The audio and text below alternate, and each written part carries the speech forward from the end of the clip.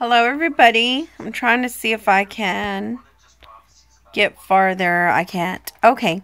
So today, this is going to be a bilingual message for a sister who is from Mexico.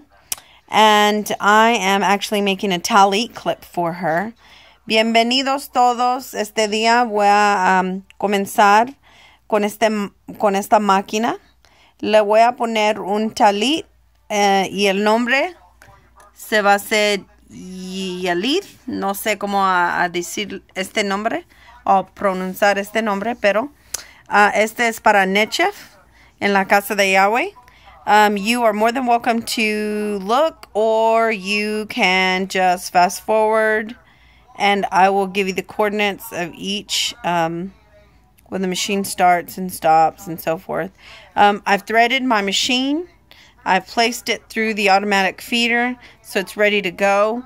Now, since I've typed my name, I'm going to press this button here and it's going to tell me how big it is.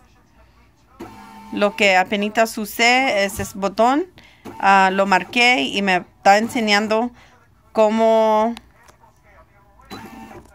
cómo va a apuntar el nombre en este papel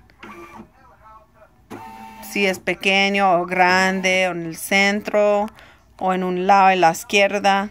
Nomás le está enseñando una vez más.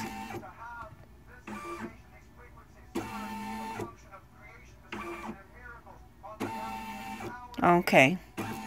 So now I'm going to go ahead and press OK. Voy a apuntar este OK. Embroidery. Por favor. Y lo voy a comenzar. And now I'm going to begin. I'm going to press this for the flourish. This is a flourish machine. And press it one more time. And then you have to press start. Let's hope we don't have any errors with this. I had to start over earlier. Okay. Looks great. Looks great. Now you can just sit back. This is how the Flourish works. It's a huge machine. I can close this gadget here. And again, I am just embroidering a name for a tallit clip that I can show you how it will look once it is complete.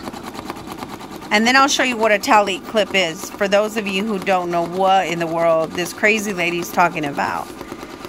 So, the Y is capital, everything else is lowercase. And I think it's big enough. You don't want to make it too big. And once I show you what a tally clip is, I'm going to push pause now so you don't have to sit through this. Esta máquina está escribiendo letra por letra y voy a, punchar el uh, alto botón para que se termina. So it is finished. Let me pull this off. And this is what it looks like. I'm going to go ahead and cut the little, you see the little strings on each letter? This is actually linen. So it's thin linen. But I'll show you what a tallit clip is. That way you'll know what it's going to be sewed on.